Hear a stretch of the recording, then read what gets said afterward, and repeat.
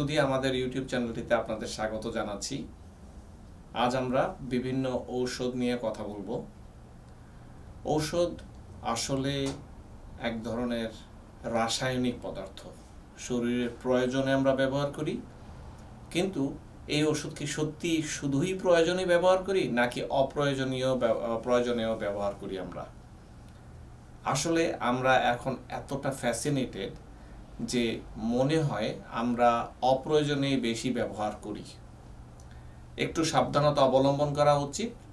তাছাড়া এই ঔষধ দেবার সময় আমরা ডাক্তার সাহেবরা যেমন রুগীদেরকে বলে দেওয়া উচিত ওষুধ কীভাবে খেতে হবে, কয়বারে খেতে হবে, খাবারের আগে, পরে এটির পার্শ্ব প্রতিক্রিয়া, সেটি আসলে ডাক্তার সাহেবদের পক্ষে সম্ভব হয় না ব্যস্ততার কারণে বা বিভিন্ন কারণে। আবার এই কাজটি ফার্মাসিস্টও করে দেওয়া উচিত। কিন্তু ফার্মাসিস্টও করছে না। সো বেসিক্যালি দেখা যাচ্ছে যে ডাক্তারও বলছে না ফার্মাসিস্টও বলছে না, রোগীকে খেতে বলা হচ্ছে, রোগী শুধু খেয়ে যাচ্ছে। এইটি আসলে একটি ভিশিয়াস সাইকেল ডেঞ্জারাস একটি সাইকেল আমি আজ থেকে এই পর্বগুলোতে চেষ্টা করব, যতটুকু না জানলেই নয়, ততটুকু ইনফরমেশন নিয়ে আসব সামনে। শুধু আমি জানি এই ইনফরমেশনগুলো হান্ড্রেড পারসেন্ট ম্যাটেরিয়াল না, তারপরও চেষ্টা করলাম আপনাদের সামনে যতটুকু সম্ভব আনার। এরপরও যদি জানতে চান পরিপূর্ণ ইনফরমেশনের জন্য আপনি আপনার ডাক্তারের সাথে যোগাযোগ করতে পারেন। আমাদের সাথে থাকার জন্য অসংখ্য ধন্যবাদ। আসুন, আমরা ওষুধ নিয়ে কথা বলি এখন। শুধু আজ আমরা ওয়াটার পিল বা পানি কমানোর আরেকটি ওষুধ শরীর থেকে, যেটিকে আমরা বলি ফিউরেসামাইড অন্য নাম লেসিক্স। বহুল পরিচিত একটি ওষুধ। আসুন একটু পরিচিত হয়ে নিয়ে এই ওষুধটির সাথে। যতটুকু না জানলেই নয়, ততটুকু এনেছি। আরও বেশি জানতে চাইলে আপনি আপনার ডক্টরের পরামর্শ নিন। এটি একটি স্ট্রং ডায়োরেটিক অর্থাৎ অনেক পানি শরীর থেকে এটি বের করে দেয়। কেন ব্যবহৃত হয় এটি? বিশেষ করে শরীরের পানি কমানোর জন্য ব্যবহার হয়। যে সমস্ত রোগে শরীরে পানি জমে যায়, সেগুলো। যেমন ধরুন congestive heart failure liver cirrhosis kidney disease, nephrotic syndrome, এই সমস্ত সিচুয়েশনে শরীরে অনেক পানি দেখা যায়। হাই ব্লাড প্রেশারের সাথে এটি দেখা যায়, তখনও ব্যবহার হয়। এবং কিছু কিছু ক্ষেত্রে এটি ব্যবহার একেবারে অনুপযোগী, যেমন ধরেন অ্যানিউরিয়া অর্থাৎ আপনার পেশাবই তৈরি হয় না, আপনি ডায়ালিসিসে আছেন অনেক দিন তখন অনেক সময় এটি ব্যবহার হয় না। অথবা এই এই ওষুধে কখনো আপনি রিয়াকশন করেছে, তখনও। কিছু কিছু জিনিস ওয়ার্নিং বা সাবধানতা হিসেবে আমরা বলি, জানা উচিত যেমন আপনার কিডনি ফেলিউর কিডনি ফাংশন খারাপ হতে পারে এই ওষুধ ব্যবহারের ফলে, সেটি সাবধান হন।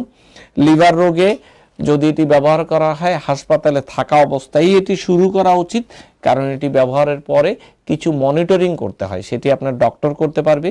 এইটি ব্যবহারের ফলে অনেক সময় দেখা যায় যে শ্রবণ শক্তি কমে যেতে পারে, খুবই সাবধান। সেইটি ব্যবহার যদি সেরকম দেখেন যে শ্রবণ শক্তির উপরে কোনো এফেক্ট পড়ছে, ডাক্তারকে বলুন। সাবধানতা আরও রয়েছে। যদি আপনি অন্য কোনো ওষুধ খাচ্ছেন, যেমন ধরেন সুক্রাল ফেট একটি গ্যাসের ওষুধ অথবা অ্যামাইনো গ্লাইকোসাইড অ্যান্টিবডি ব্যবহার হচ্ছে লেসিক্সের সাথে সাইড এফেক্ট রয়েছে এইস ইনহিবিটর আপনি দিচ্ছেন তখন, যেমন ধরুন লিসিনোপ্রিল বেনাজেপ্রিল লোসারটান এই ধরনের ওষুধ যদি খান একই সাথে কিছু রিয়াকশন হয় হাইড্রোক্লোর হাইড্রোক্লোরথায়াজাইড অন্য রকমের ওয়াটার পিল স্টেরয়েড বা ডিজক্সিন এই ওষুধগুলোর সাথে আপনাকে অবশ্যই সাবধানতা অবলম্বন করা উচিত। বলে মনে করি, হঠাৎ করে পানি কমে যেতে পারে এই ওষুধটি খেলে। ইলেকট্রোলাইটের অসুবিধা হয় শরীরে, যেমন সোডিয়াম কমে যাওয়া ক্লোরাইড কমে যাওয়া পটাশিয়াম ম্যাগনেসিয়াম এগুলো কমে যাবে, এগুলোর বিভিন্ন রকমের ইফেক্ট রয়েছে শরীরে। কেউ যদি সিটি স্ক্যান করেন কন্ট্রাস্ট দিয়ে বা এমআরআই করেন কন্ট্রাস্ট দিয়ে, তখনও কিন্তু এই ওষুধের সাথে একটি রিয়াকশন হওয়ার সম্ভাবনা রয়েছে। গাউট বেড়ে যেতে পারে। অপারেশনের সময়ে এই বা আগের থেকে এই ওষুধটি কীভাবে বন্ধ করবেন, আপনার ডাক্তারের সাথে জিজ্ঞাসা করে নিন, অপারেশনের আগে পরে কীভাবে এটি ম্যানেজ করবেন। সালফোনামাইড বা অ্যালার্জি থাকলে এই ওষুধটি ব্যবহার করবেন না। এটি ডায়াবেটিস থাকলে এটি সুগার বাড়িয়ে দিতে পারে। এই ওষুধটি খেলে নিয়মিত কিছু ব্লাড টেস্ট করতে হয়, মনিটরিং করতে হয় যে এটি কোনো ক্ষতি করছে কিনা, সাবধান হন। সব ওষুধেরই অন্য ওষুধের সাথে কিছুটা হিংসে বিদ্বেষ চলে, এইটিও তার ব্যতিক্রম নয়। এইটির কারণে অনেক সময় দেখা যাবে যে আপনি অ্যামাইনো গ্লাইকোসাইড অ্যান্টিবায়োটিক ব্যবহার করলে এটি সহ দুইটি মিলে আপনার কানের শ্রবণ শক্তি কমিয়ে দিতে পারে। স্যালিসাইলিক টক্সিসিটি সিসপ্লাটিন টক্সিসিটি এগুলোও হতে পারে এই এই ওষুধের সাথে। সাধারণত বিশ থেকে আশি মিলিগ্রাম প্রতিদিনে ব্যবহার করা হয়। এটি ডিপেন্ড করবে ডাক্তার কীভাবে ব্যবহার করবেন সেইটিকে এটি বিভিন্ন রকমের রয়েছে, ট্যাবলেট সলিউশন বা লিকুইড ইন্ট্রাভেনাস ডেইলি একবার বা দুইবার ব্যবহার করা হয় ডিপেন্ড করে কীভাবে। খাবারে এটি খাওয়া অবস্থায় পটাশিয়াম ইউরিন দিয়ে চলে যায় সো পটাশিয়াম কমে যাওয়ার সম্ভাবনা থাকে, তাই পটাশিয়াম যুক্ত খাবার খাওয়া উচিত। যেমন কলা প্রুন রেইজিন অরেঞ্জ জুস ডাবের পানি, এগুলো হচ্ছে পটাশিয়াম যুক্ত খাবার। এগুলো যদি আপনার স্বাস্থ্য অ্যালাউ করে, এটি আপনার করা উচিত। এটির সাইড ইফেক্ট নিয়ে কিছু না বললেই নয়, কানে শোষো করা, র্যাশ শরীরে ব্লিস্টার হওয়া, ফসকা হওয়া, ইচিং, জন্ডিস, প্যানক্রিয়েটাইটিস মোট কথা এই ওষুধটি শরীরে এফেক্ট করে না, এরকম অর্গ্যান খুব কমই রয়েছে। সো খুব সাবধানে এইটি ব্যবহার করতে হবে। এইটি ওভারডোজের লক্ষণ হচ্ছে মুখ শুকিয়ে যাওয়া, নাক শুকিয়ে যাওয়া ডিজিনেস কনফিউশন টায়ার্ডনেস বমি বমি ভাব কনস্টিপেশন এগুলো হচ্ছে এইটির ওভারডোজের সিগন্যাল যদি এরকম হয়, বন্ধ করে আপনার ডাক্তারের শরণাপন্ন হন।